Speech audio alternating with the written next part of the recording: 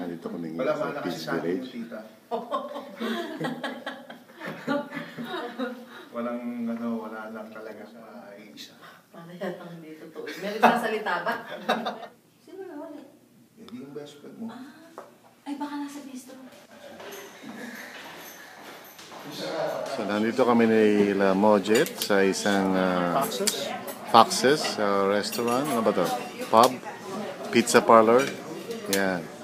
Sabi ni Mojet medyo masarap daw dito. uh, since 1962. Okay, so yung mga pagkain dito luma na, no? Hindi pa tayo pinapanganak. Pizza, pizza pie na rito.